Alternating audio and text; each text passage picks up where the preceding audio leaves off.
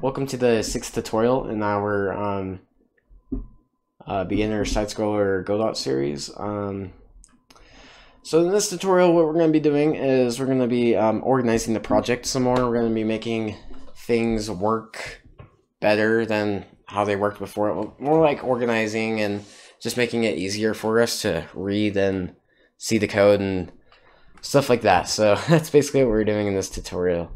So what I'm going to start off with is our signals. So I'm going to open our player.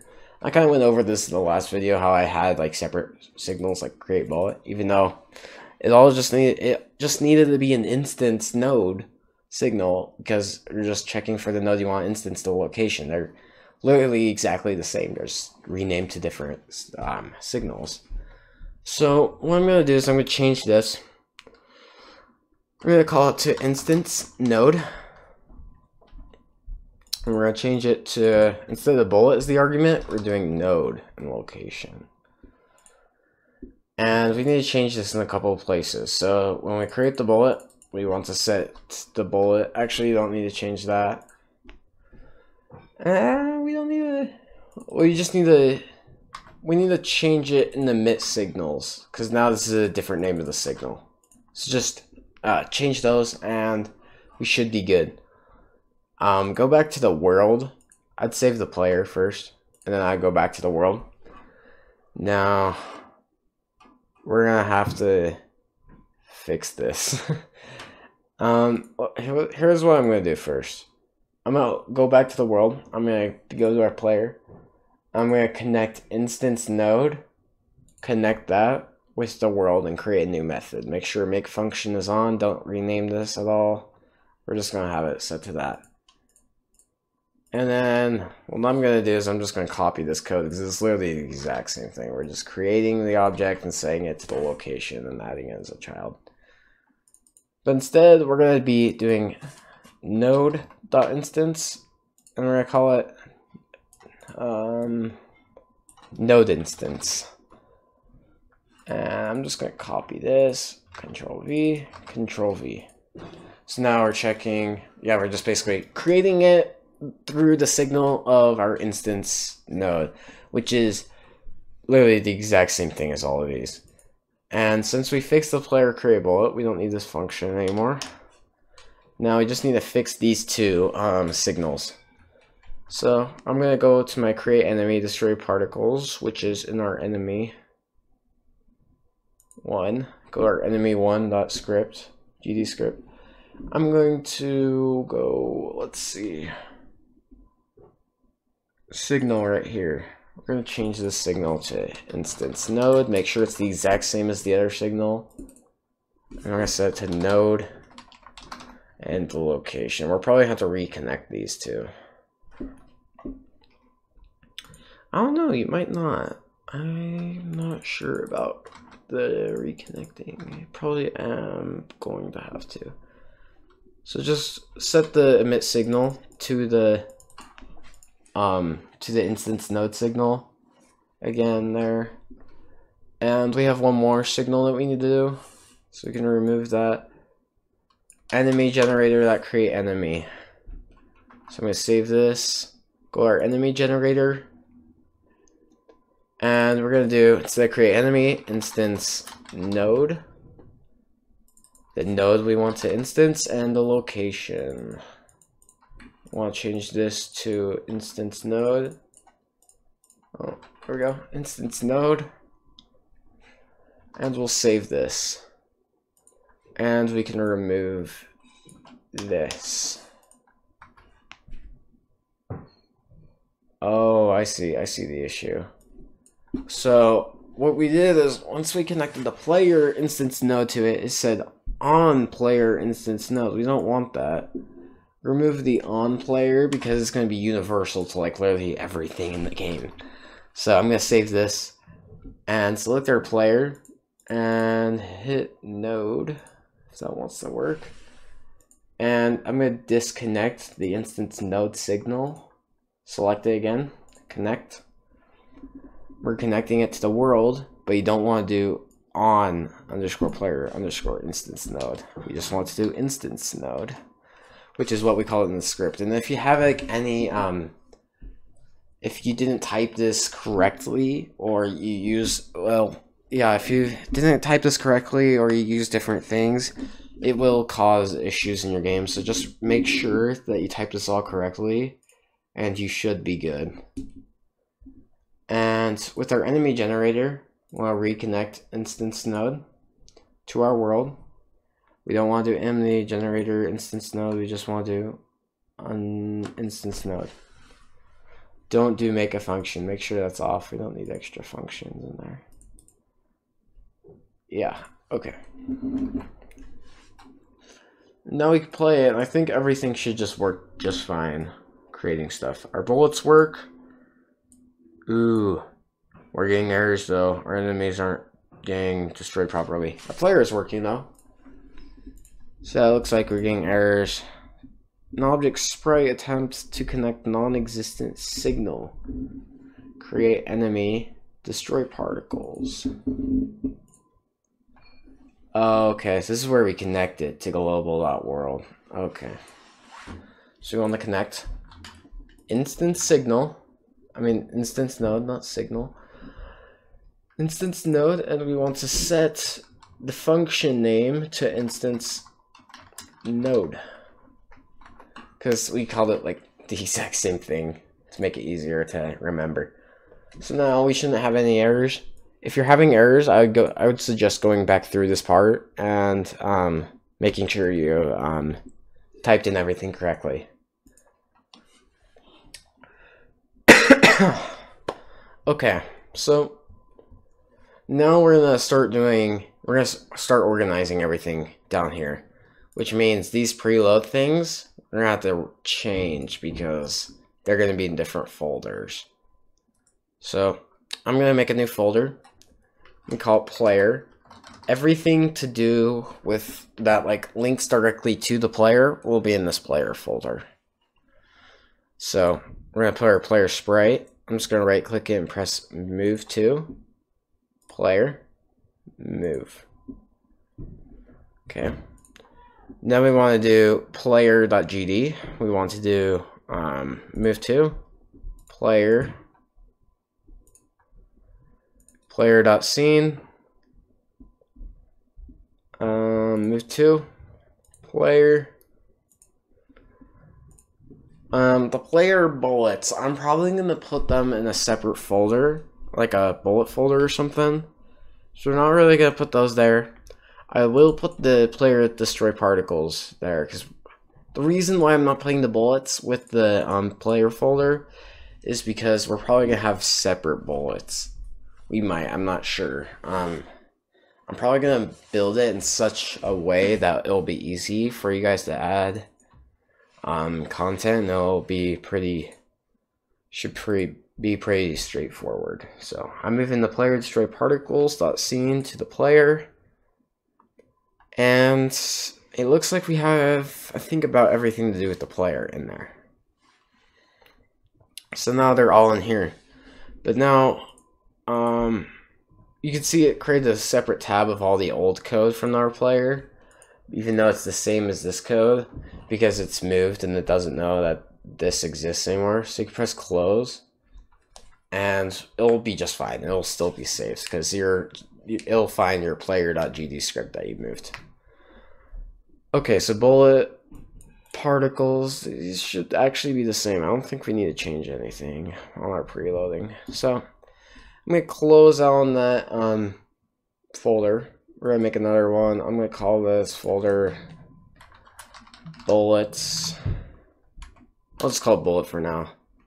Actually, I'll call it player bullet. Because we're probably gonna have enemies shoot out bullets too. So we kind of want to change the names to reflect that. I'll probably rename that bullet.gd scripts later play bullet.png, GD script is going in there. Um, what else do we have? Let's see. Where's our player bullet scene? Oh, it's right there.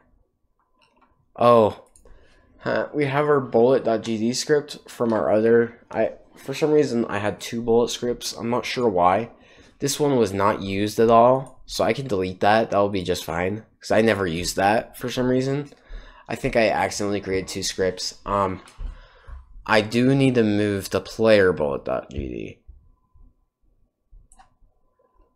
I don't know how that happened. I might have worked on the project without like knowing I was. Like I usually duplicate the project and then work on that separate copy, but I might have worked on this one. Or I might have caused an issue in one of my tutorials. I'm hoping that's not the case though. Okay, so we have our player bullet folder. Now we're to have an enemy folder. I'm just to call the folder enemy1. We'll have multiple enemy folders within an enemy folder for each of the different enemies. But for right now, we'll have enemy1 in here. And enemy 1 is basically the most basic like enemy mechanic in our game. It just moves towards the player and it'll hurt the player if the player touches it, which is the basic it's basically the basis of every ship that's going to be in the game. Um, so that's why we created, we set that as the enemy at the start, because we're going to go off of enemy 1 for every enemy that we make in the game. Now, I'm probably not going to make very much enemies, just for like the sake of tutorial time, but I'm probably going to try to make it as um, simple as possible, make another enemy, so you guys can start adding your own content into it. Um, don't know if I should put the enemy destroy particles in there because we're gonna have multiple enemies.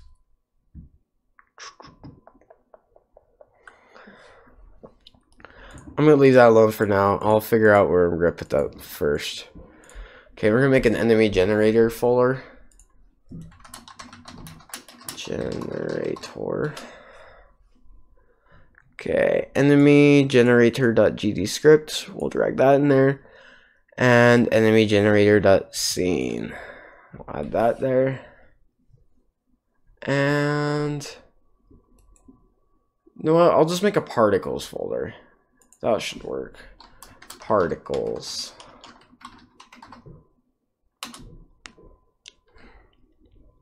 And we will put our destroy particles Where's our particles folder? Right there, yeah. Or enemy destroy particles in our particles folder. And we're going to make a world folder.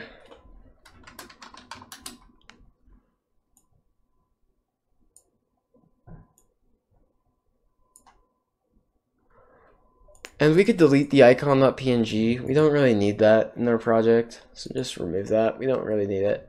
Um, and I'm probably gonna make a folder called like, oh, I'll call it game managers. And I'm putting our global.gd script in here. The reason why I'm putting global into a game manager folder is we're probably going to have multiple nodes that like manage the game directly, but global is going to be the, one of the biggest ones.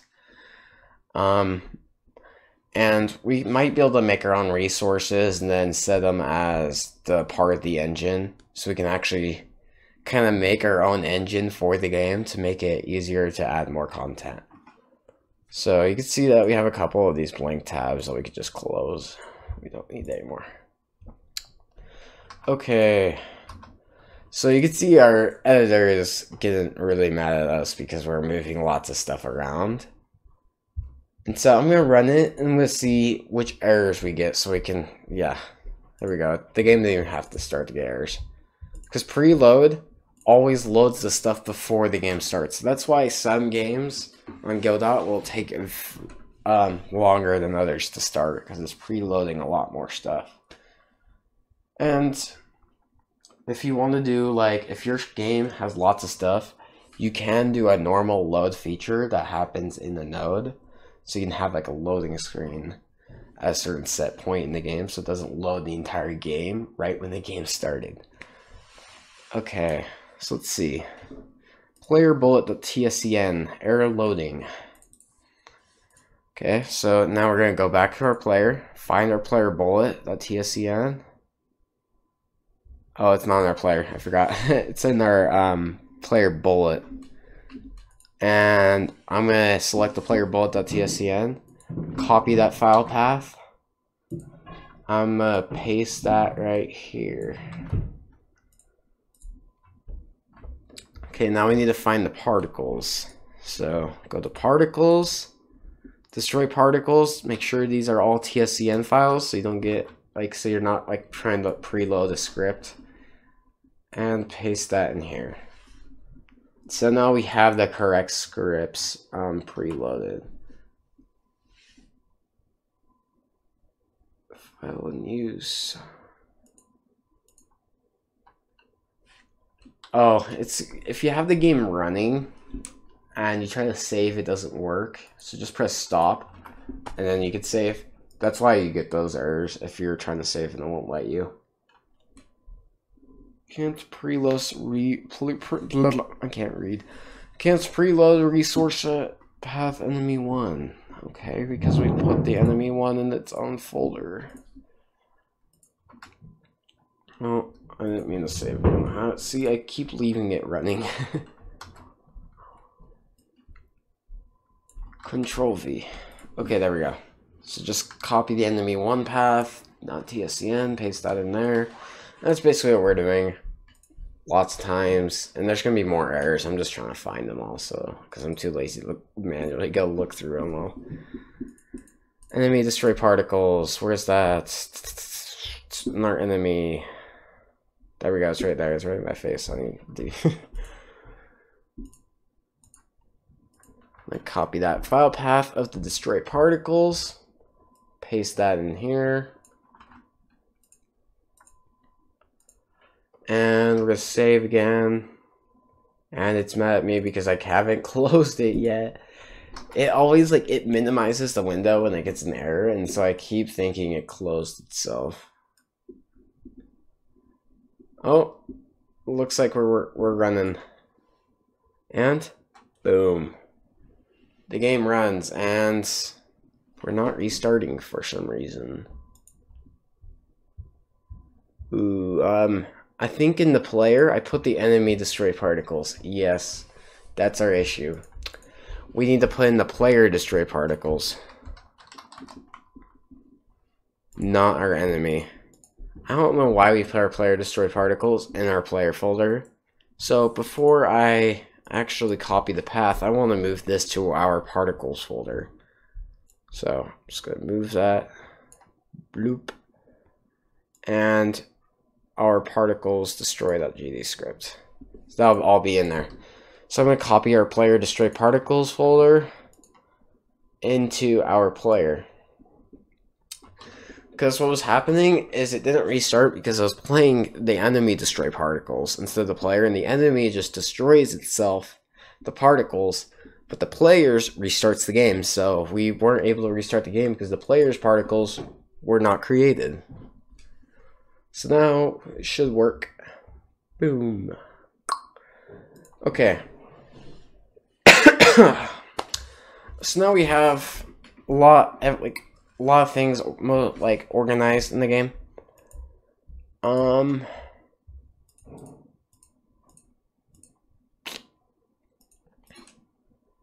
We're looking pretty good right now. So, um, next tutorial, what I'm probably gonna do is I'm gonna go over um. What am I gonna do? I'm gonna do player health. So the player has like a health bar, and when the enemies hit it, it'll like lose health. So, um, thanks for watching this video. I, I hope you guys like this content.